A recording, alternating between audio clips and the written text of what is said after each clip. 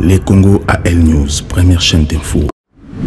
Bonsoir, il s'appelle Damien Kalura, président de la coalition populaire et aussi président de la gouvernement de la coalition populaire. Pourquoi? Hier aussi, il président de la CCCT et aujourd'hui, pourquoi il devient président de la coalition populaire? Aujourd'hui, dans ces plateaux, il va nous expliquer ce qui se passe dans Goma, parce qu'il maîtrise bien aussi Goma, parce qu'il est M23, aujourd'hui coupable de meurtre de Salman Congo. N'oubliez pas qu'aujourd'hui, milicia président Félix Tshisekedi, garde républicain, aujourd'hui, Bomi Congolais, mais M. Damien Kalura va nous expliquer, il maîtrise ces dossiers et aussi les propos de Nanga. Nanga qui dit que bah, Salaki euh, coopération, comme les Congolais le savent très bien, na Kabila, pour appeler ça Félix Tshisekedi, pouvoir. Est-ce que Tshisekedi a dit la vérité sur les propos de Corneille Nanga ou pas? Bilan Félix Tshisekedi, positif ou négatif? Les élections au Congo ou pas? Monsieur Kalura, bonsoir. Bonsoir, merci. Alors, Monsieur Kalura, vous êtes président de la coalition populaire euh, congolais. Alors, pourquoi cette coalition? Qu'est-ce qui vous a poussé aujourd'hui à penser qu'il fallait, bien sûr, avoir un gouvernement et la coalition populaire? Bien, nous avons eu comme discipline d'observer plus de quatre ans de trêve pour voir dans quelle direction euh, Joseph Kabila et son dauphin Félix Tshisekedi pouvaient conduire le pays. Quatre ans plus tard, nous et les Congolais ensemble, nous nous sommes rendus compte que Félix Tshisekedi et Joseph Kabila sont en train d'amener le Congo vers la disparition. Il fallait donc trouver une anecdote. Disons, il fallait trouver euh, une antidote. Une antidote Oui. Pour trouver la solution entre Félix. Est-ce qu'ils sont-ils toujours ensemble aujourd'hui? Toujours et toujours. Donc maintenant, nous avons répondu à l'appel du peuple congolais. C'est ce que nous appelons l'antidote au cancer que représentent Félix Tshisekedi et Joseph Kabila pour le pays. Il fallait donc trouver une solution efficace, durable, adéquate et opérationnelle. Et c'est ainsi que nous avons, donc, depuis le 12 août 2023, il y a un peu plus d'un mois, nous avons lancé la coalition populaire et le gouvernement populaire de la République démocratique du Congo destiné à sauver le Congo du chaos et de l'anarchie créée et entretenue par le tandem Joseph Kabila et Félix Tshisekedi. Voilà, M. Kalura, en 2017-2018, au créé qui gouvernement à transition sans Joseph Kabila? Alors, ce gouvernement, ils ont été mis en place. Aujourd'hui, Félix Tshisekedi arrive à faire un mandat aussi pour créer un gouvernement populaire. Alors, comment mettre ça en place? Parce que hier, c'était gouvernement à transition. D'ailleurs, l'opposition à l'époque, avec Etienne Tshisekedi, parce qu'il va proposer un. Gouvernement sans transition, transition sans Joseph Kabila. Alors, comment allez-vous faire maintenant pour mettre en place gouvernement populaire au moment où gouvernement de transition, et côté qui est en place, d'ailleurs, côté qui est en place, vous avez qui est absent? Ben, ce que nous allons faire, Aujourd'hui, nous sommes dans ce que nous appelons suite et fin de notre combat, qui a été retardé de 4 ans par la traîtrise de Félix Tshisekedi, qui a accepté de coopérer avec le pouvoir et de rejoindre le pouvoir de Kinshasa. Donc, pour le moment, la première mission de la coalition populaire et son gouvernement, c'est de mettre fin au danger national au Congo. Et le danger national au Congo porte trois noms. Le premier nom, c'est l'Union sacrée. Le deuxième nom, c'est Paul Kagame, avec son FPR. Et le troisième nom, c'est Joseph Kabila, qui est comme le DJ de tous ces désordres-là, qui met le Congo en perdition.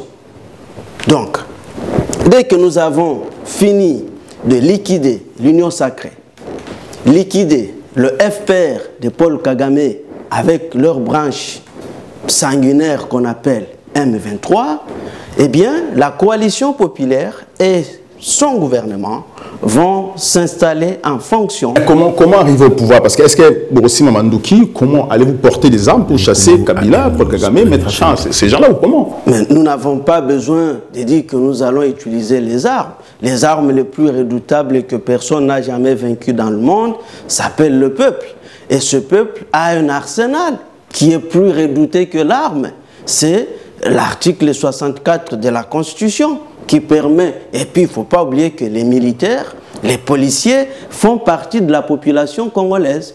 Du moment où la Constitution, dans son article 64, autorise chaque Congolais d'utiliser tous les moyens en sa possession pour liquider tout pouvoir, tout individu ou groupe d'individus qui exercent illégalement et illégitimement le pouvoir et que tous ces Congolais ont le droit de liquider ce régime, conformément à la loi fondamentale, eh bien, nous n'allons pas parler des armes, nous allons parler de la force du peuple. Et c'est ça ce que nous allons utiliser. Je tiens juste à rappeler que cette émission est suivie à Kinshasa. On vous suit à Kinshasa en direct. Mais une question est simple. Parce que Martin Fayou dit qu'aujourd'hui, il faudrait que l'ONI a la MONUSCO au Congo pour engager une force un commando pour mettre fin à M23. Êtes-vous d'accord par rapport à ces propos ou pas? Bon, je pense que Martin Fayoulou rejoint ce que nous disons tous les jours, sauf qu'il n'a pas mis les doigts sur la plaie. Nous disons très bien, nous liquidons l'Union sacrée, nous liquidons le FPR qui est au Rwanda, nous liquidons le M23, le problème est terminé, puisque qui est le sponsor du M23 Le M23 est créé par l'Union sacrée, qui était l'AMP d'hier, qui est devenue l'Union sacrée, qui regroupe maintenant le PPRD, l'UNC, le MLC, l'ensemble des Katumbi, l'UDPS. Ils se sont tous mis ensemble, ils ont formé ce qu'ils appellent Union sacrée et qui sponsorise le M23. Parce que comment voulez-vous un groupe de quelques 500 ou 600 trafiquants, tout rwandais, armés, des narcotrafiquants, occupe une bonne partie du territoire à quelques encablures de l'armée nationale et ces bandits-là n'ont jamais été inquiétés. Comment voulez-vous que le M23 continue d'opérer librement à l'est du Congo et que Kinshasa, lui, continue à faire la fête? Donc, c'est une, diversion, d'accord? C'est une diversion qu'on appelle euh, war and business. Ils tuent les gens, ils gagnent de l'argent, mais en relation avec Kigali et Kinshasa. Donc, Fayoulou le dit, mais nous, nous voulons déraciner le mal. Mais parce que si vous dites que Fayoul le dit, on sait très bien que Fayoul aujourd'hui est avec Katumbi. Katumbi hier, qui met avec Katakatanga, Mata Tamponi aussi qui faisait partie des Kabila, parce que vous accusez Kabila aujourd'hui, ça veut dire que Mata Fayoul aussi est pro M23. Parce qu'à côté d'un grenage, il y a pro M23. Nous n'allons pas accuser Fayoul d'être pro M23. Nous avons l'Union sacrée qui protège le M23, qui travaille avec le M23. C'est quelques 500 hein, bandits, ce sont des bandits.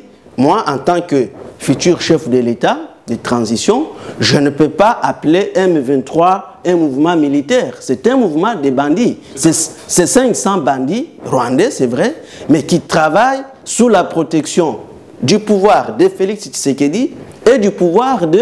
Sont-ils congolais, sont congolais ou bien rwandais? Mais ce sont des rwandais. Ils ne sont pas congolais. Non, ne sont Donc, pas s'ils ne congolais. sont pas congolais, est-ce qu'ils sont rebelles ou bien c'est un mouvement qui envahit les Congos? Je vous dis, c'est un groupe de bandits. Ils ne peuvent pas envahir le Congo. C'est un groupe de quelques 500 Donc ce ne sont pas des rebelles parce qu'ils ne sont pas Non, c'est congolais. des bandits, ils sont pas, ce sont des narcotrafiquants. C'est comme ça qu'on les appelle dans les autres pays comme euh, le Mexique, la Colombie, on les appelle des narcotrafiquants.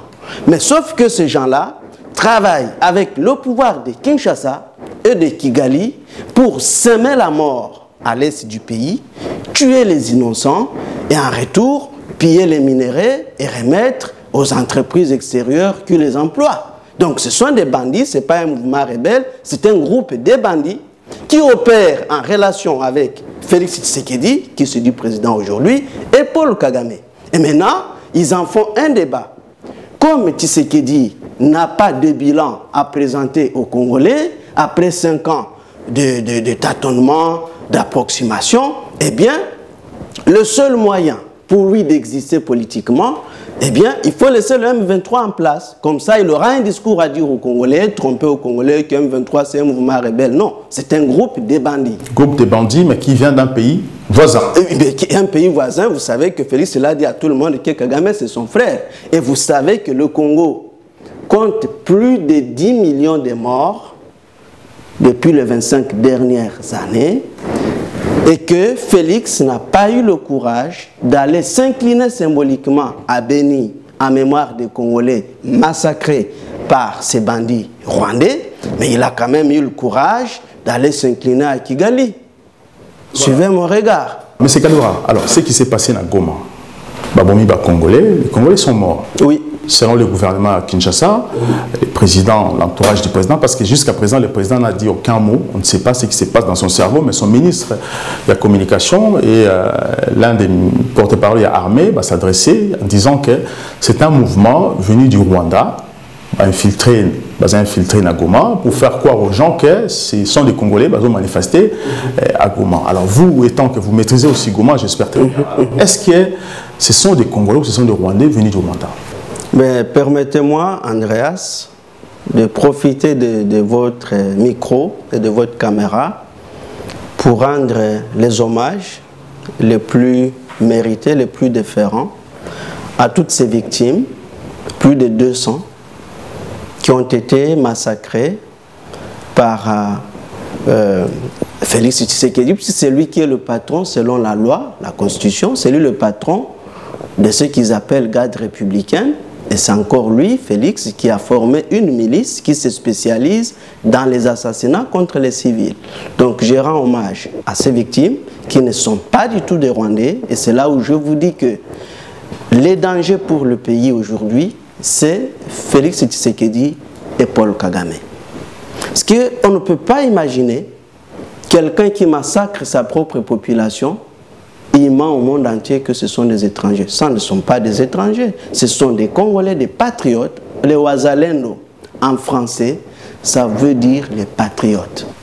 Et la définition d'un patriote en français, c'est quelqu'un qui aime sa patrie, donc c'est quelqu'un qui aime son pays. Ces compatriotes massacrés le 30 août 2023 par la milice des protections personnelles de Félix Tshisekedi, ce sont des Congolais qui sont venus de, de plusieurs territoires de la province du Sud Kivu et du Nord Kivu pour commémorer le 30e jour de leur jeûne de prière, puisque c'est une église qui, prêche qui prêche, il prêche l'indépendance réelle du Congo. Goma, parce qu'il va il y a des vidéos qui sont sorties qui vont prêcher que non, qui vous c'est la terre promise du Rwanda. Andreas, vous êtes un grand journaliste, je pense que vous n'allez pas faire... Ça c'est le propos qui vient de là. De Félix Tshisekedi, bien entendu, mais vous n'allez pas faire les jeux de Félix Non, moi, je vous pose la question pour éclairer la population. oui, c'est ce que j'ai dit aux Congolais. Ils doivent, pas, ils doivent savoir que s'il y a un seul bilan qu'on doit à Félix, c'est le mensonge. Monsieur Kaloura, si aujourd'hui vous devenez président de la République, aujourd'hui président de la République, première chose à faire, c'est quoi en termes de, de, ce qui se passe dans l'Est? Non, pour le moment, la première chose, dès que nous sommes au pouvoir, c'est endiguer cette mafia d'État que Félix Tshisekedi, Paul Kagame et Joseph Kabila ont construit au Congo. Nous devons la détruire. Quand nous avons détruit cette mafia, nous redonnons aux Congolais leur identité, leur fierté, leur sécurité, leur vie, leur honneur d'être congolais et nous leur permettons, et c'est ce que nous allons faire dans le cadre de la coalition populaire, nous leur donnons la chance de vivre le bonheur qui se cache au Congo et qui leur est privé par ce groupe de mafieux que vous appelez Félix Tshisekedi, Joseph Kabila, Paul Kagame. Alors, si, la population... Je reviens sur votre... Je, vous donne la parole. Si aujourd'hui, on vous donne le pouvoir actuellement, et bien livrer Bino Kabila, Kagame, Félix Tshisekedi, aujourd'hui ben, C'est la loi. De toutes les façons, euh, ce sont des hommes du passé, vous êtes sans l'ignorer. Félix Tshisekedi, c'est un homme du passé. Son chef, Joseph Kabila, c'est un homme du passé. Ces deux personnes, sur les 22 ans qu'ils ont confisqué le destin du pays, 5 ans de Tshisekedi ont ramené le Congo 20 ans en arrière et 18 ans de Joseph Kabila ont ramené le Congo 30 ans en arrière. Si ça ne dépend que du peuple, le peuple lui nous demande de les livrer à la loi populaire. Vous savez que signifie la loi populaire. Maintenant, nous. C'est guillotiner. Oui, voilà. C'est ça le mot que vous cherchez, guillotiner. C'est ce que veut le peuple. Pour le peuple, ces gens qui sont à la base de sa souffrance, il faut voilà, les livrer au verdict populaire. Mais nous, en tant que républicains, nous disons, il y a des lois, on va construire les, hein, les, résidences carcérales pour les trois individus que vous citez, donc euh, Félix Tshisekedi, euh, Joseph Kabila et Paul Kagame. Vous, aurez la pression de la communauté internationale, parce qu'il faut libérer parce que l'obédience extérieure pour non, la communauté internationale, contrairement à ce que les gens font penser, ils trompent les Congolais, la communauté internationale n'a jamais soutenu les criminels. D'ailleurs, je vous informe que la coalition populaire vu le déni du crime qui a été manifesté par le pouvoir de, de Félix Tshisekedi contre les victimes du carnage des Goma, la coalition populaire se réserve tous les droits de se porter partie civile, se constituer partie civile pour la plainte qui sera déposée à la haie. Qu'on ne vous trompe pas, il n'y a pas ici une communauté internationale qui protège les criminels. Voilà, alors Félix Tshisekedi, aujourd'hui dans les Nations Unies, tout le monde est aux États-Unis, quand il est parti dans les Nations Unies, il a dit clairement qu'il n'y a pas eu d'arrangement entre Bango et Kabila. Il n'y a pas eu, comme les gens pensent, qu'il va se le pouvoir parce qu'il fallait faire quelque chose. Alors, lorsque Nang a dit précisément qu'ils ont signé des accords, il y a trois présidents africains comme témoins. Alors, à qui croire maintenant? Est-ce que ça Tshisekedi de croire ou encore à Nanga de quoi? Alors, si Nanga, effectivement, le dit que c'est comme ça, Nanga aussi, il faut qu'il aille en prison. Bon, écoutez, il faut d'abord noter, vous avez suivi notre itinéraire politique depuis plus de, 15 ans, c'est que d'abord au Congo, il n'y a jamais eu d'élection. Il n'y a jamais eu. Ce qu'il ne faut pas confondre élection et formalité électorale. C'est deux choses différentes. Donc, Kabila amène les gens dans des comédies qu'il appelle élection. Et puis ensuite, s'il y avait élection au Congo, et s'il y en aura un jour, un homme comme Félix Tshisekedi ne peut jamais gagner l'élection au Congo. D'ailleurs, aujourd'hui, oui. Allez-y, allez-y. Aujourd'hui, d'ailleurs, puisqu'on me dit qu'Apama, il parle d'une élection imaginaire, hein, qu'il veut organiser tout ça avec ses amis à la CENI, à la Cour constitutionnelle, à l'intérieur, aux finances et consorts. Mais je vous dis que si nous faisons une élection on met à défi Félix Tshisekedi. On prend une chèvre, on met là, candidat, aujourd'hui. Et on prend Félix, on met ici. Je vous jure, et les Congolais le savent, la chèvre va gagner l'élection. Mais à gagner l'élection, comment dire Gérald, les Congolais, ceux qui ont gagné l'élection, chèvre. oui. Parce qu'aux États-Unis aussi, Joe Biden, vous savez comment Joe Biden a gagné l'élection. Parce que le résultat donné Trump, mais euh, après on a compris que c'était politique non, aussi. Non, non, je vais vous expliquer pourquoi une chèvre face à Félix Tshisekedi l'emporterait. Ça veut dire que si on part aux vraies élections, même une chèvre va battre Félix Tshisekedi. Mais au jour d'aujourd'hui, dans la configuration actuelle, si on part aux élections, eh bien, je vous dis que même Jésus-Christ, qui fait la croyance de 90% des Congolais. Il passe, il s'est dit, ok, Kadima présente la CENI, Kamoulé ta cour constitutionnelle, euh, la dame, euh, la ministre de la Justice, et M. Peter Kazadi à l'intérieur, et Jésus-Christ dit, je postule à cette élection, je vous dis que même Jésus ne va pas gagner cette élection, alors que Jésus il est le plus majoritaire au Congo. Qui peut battre Jésus au Congo? Personne. Mais dans le processus actuel, puisque vous voulez parler de cette élection, eh bien, même Jésus sera battu. Maintenant, je reviens pour répondre rapidement. Vous avez deux minutes. Ah, oui, oui, à votre question concernant si Tshisekedi avait gagné l'élection en 2018 ou pas, si Nanga a menti. Mais Nanga, il est l'architecte de ce mensonge électoral. C'est lui qui était l'architecte, le metteur en scène de cette comédie électorale. Donc personne n'est mieux placé pour nous révéler ce qui s'était passé. Maintenant, cette infraction d'imposture et de haute trahison vient s'ajouter à l'infraction des crimes financiers et crimes de sang qui pèsent sur Félix Tshisekedi. Puisque dès que nous mettons en place au Congo, notre gouvernement, dès qu'il met en place une cour constitutionnelle réellement neutre, eh bien nous allons convoquer Félix Tshisekedi pour avoir trompé toute une nation. Nous allons convoquer Corneille Nanga et nous allons convoquer Joseph Kabila. Mais vous savez que dans, un, pays, euh, un pays comme la France ou les États-Unis ou l'Angleterre, le pays organisé, où le village Nabiso, on ne donne pas le pouvoir à n'importe qui. Au cause un candidat ou gagner, mais le pouvoir du Congo se décide que non, je ne peux pas, qu'aucun n'est pas M. Kalura ou pas M. Andreas, parce que le pouvoir est incarné par l'autre messier.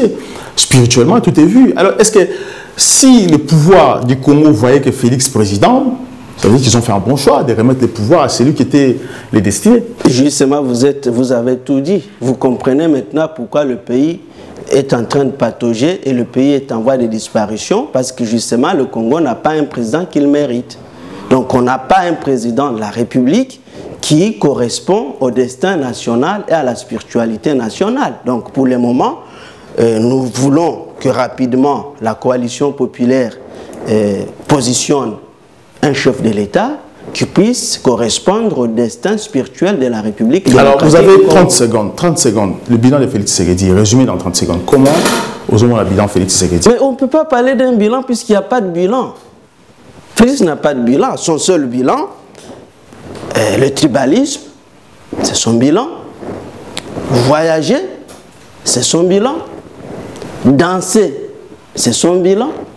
Voler l'argent de l'État, c'est son bilan. C'est ça le bilan en résumé de Félix Tshisekedi. Donc, moi, comment je vais commenter le voyage de quelqu'un il fait le fait, il fait la tribalisation du pays qui compte autant de tribus, mais lui, il pense qu'il va tout tribaliser. Bon, moi, je veux parler de quel bilan? Il n'y a pas de bilan, il n'a pas de bilan. Merci beaucoup, M.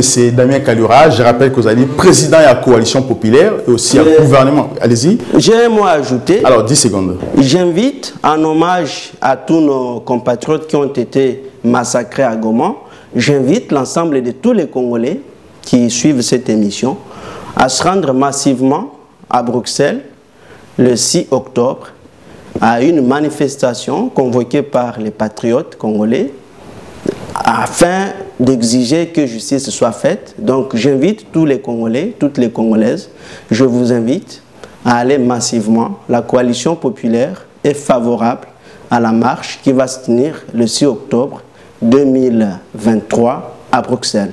Allez-y tous massivement. Merci beaucoup, M. Kalura. Je rappelle que vous êtes président de la coalition populaire et aussi à gouvernement coalition populaire. Merci d'avoir organisé cette émission. Je vous sengi Nabino, botika la fidèle la chaîne Nabino LCA, na émission Nabino, surtout vous partagez l'émission Nabino, beaucoup aussi na TikTok Nabiso, LCA News.